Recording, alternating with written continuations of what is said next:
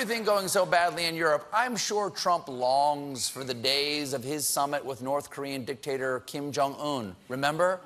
No more nukes. You can sleep safe. Alan Alda, you can come home. Your work is done. Well, last week, North Korea got a follow up visit from Secretary of State and younger Kevin James, Mike Pompeo. And now we're getting reports that Pompeo's North Korea meeting went as badly as it could have gone. I'm not surprised. Sometimes the second date is rough. You go back to his place, you find out it's full of executed relatives, or worse, Limp Bizkit CDs. It didn't seem like North Korea was taking the summit that seriously from the very start. Pompeo thought he'd be put up in a nice hotel.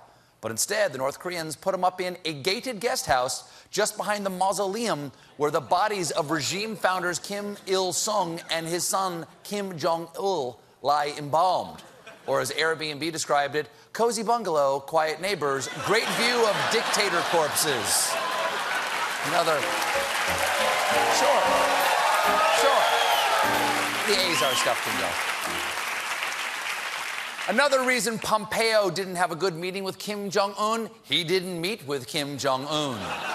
But Kim had a very good excuse. Turns out he was too busy visiting a potato farm to meet with the U.S. Secretary of State. But to be fair, a lot of people have trouble telling the difference between Mike Pompeo and a potato.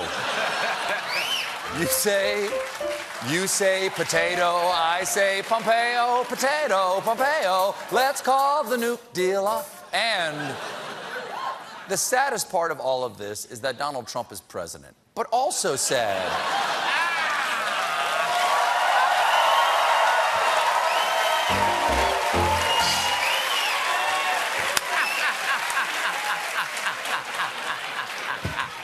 but also sad Mike Pompeo had a gift for Kim that he never got to deliver. Remember when Donald Trump was threatening to blow up the world and calling Kim Jong un little racket man?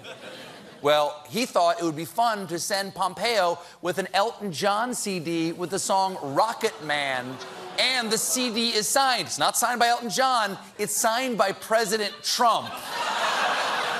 uh, I say, uh, Dear Kim, I didn't write this but I did listen to it, put it on to remember that time I insulted your penis.